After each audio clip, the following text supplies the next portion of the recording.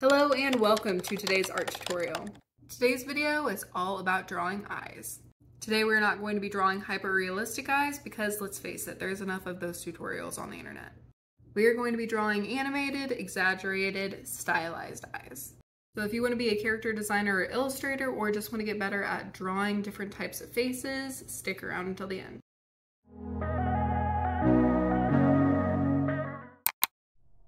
Let's start off with how to draw a stylized set of eyes from a front view and then how to make them more expressive. You can see here that I am outlining the eye and today, like I said, we're just going to be doing a stylized set of eyes. I always work on the outline first for both eyes before doing the pupils or the inside of the eye. I want to make sure that the eyelashes and the outside of the eye looks about the same first before I start working on the detailed parts like the middle. When drawing stylized eyes, the eyes are typically larger than normal human eyes, usually, but not always. But the important thing is to make them still look anatomically correct. As a general rule, there is usually one eye width between the eyes. And now that we have our set of eyes, let's get to learning on how to make them more expressive. As we get to finishing up this first drawing example, I'm going to go ahead and start drawing the pupils of the eyes. You want to make sure for a front view that these don't look like they're crossing in too much or you'll end up with a bunch of cross-eyed characters. I usually have to draw the irises a couple times just to make sure that they look right. I You are going to see me here. I'm going to flip my canvas and I have noticed that the eyes are not corners of the eyes aren't pointing exactly the right way. So if you're using Procreate, which I highly suggest, you can go ahead and tilt anything that you want until you think that you have the eyes the way you want them. I am going to use Liquify here on the bottom of one of the eyes to just tip it up just a little bit so that they look more symmetrical. Next, we're going to go ahead and draw an eye from the side. So something I don't see in a lot of other tutorials is people drawing from eyes from multiple different angles. Usually it's just a front view, but I have found that one of the most helpful things to do is uh, getting tutorials on how to draw eyes from different angles. So the side view is something that actually took me a little while to figure out because you know, when I was younger, I used to put the eye way too close to the outside of the face when really it's like, you know, the bridge of the nose is in front of the eye itself. But also drawing the eye from the side, it's a lot it's a lot more squished looking than it is like looking at it from the front. But I think studying Pernille Ørum's work really helped me with getting eye angles down. But let's go ahead and look at some other examples of angles of eyes to get the expressions correct. So for this section of the video, I have went ahead and found some reference photos and changed the opacity to where you can kind of see through it and draw on top of it really easily. In this first picture I'm going to be drawing, it is um, uh, Phoebe Tonkin, and this picture she's looking like sort of to the side and kind of down and you're going to notice that I'm drawing both eyes. Um, a lot of tutorials don't show you how to draw multiple, like both of the eyes at the same time.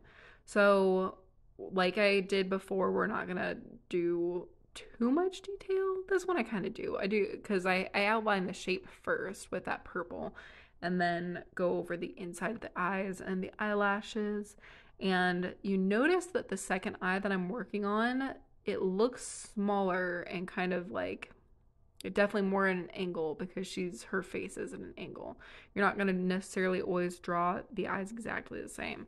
And this next one, I'm drawing Tessa, can't remember her last name, from Thor Love and Thunder, and she just has like a completely bored look on her face. And you can see that I still draw the whole like where the eye socket would be, and then since her eyelids are closed, drawing a hat like a line through the middle of it where her eyelid is. And giving her really big eyelashes, and of course, because she has this bored look on her face, her irises and pupils are just like little half circles under her eyelids, which like makes her face look very expressive. filling in the pupils. And then the next one that I'm going to be drawing is Scarlett Johansson. And um, with her expression, I really wanted to show the angle of how her face is kind of scrunching in the middle because she has a very like concerned look on her face like she's unsure about something and i also wanted to show where the pupils are in the eye. So I draw, I am drawing lines like through the center of the pupil to show you where they're supposed to be. The way that Scarlett Johansson's eyebrows are just kind of scrunched down, and then you can see the eyelid, drawing the eyelid at the angle that it is, is very important for getting the expression down.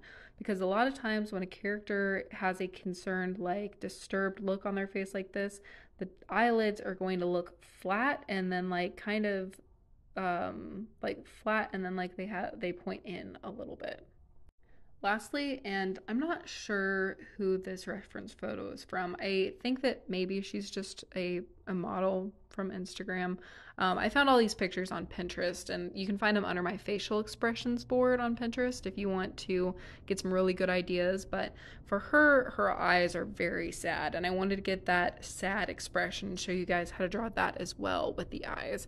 So, sad eyes kind of look like a half moon, half circle shape with the bottom eyelid. Um, the bottom of the eyelid is like flat and curved upwards um, and this is just like when we're sad, like what you know, like when you feel like you're gonna cry and your eyes like want to squint um, to try to keep all of the tears inside. That's kind of what you want to remember when drawing sad eyes is mostly just the bottom of the eye. And with that, depending on what way they're looking, the it's going to be the opposite of um, what I did for Tessa's eyes, where it was like flat on top and the you can see like the shape of the pupil and the iris is just going to kind of look the opposite of that because you can see that her pupils are flat on the bottom because the bottom of the eye is covering them. I think this tutorial also just goes to show you that even with just drawing the eyes, you can really get a good expressive character and not all of your characters need to have like the same face syndrome.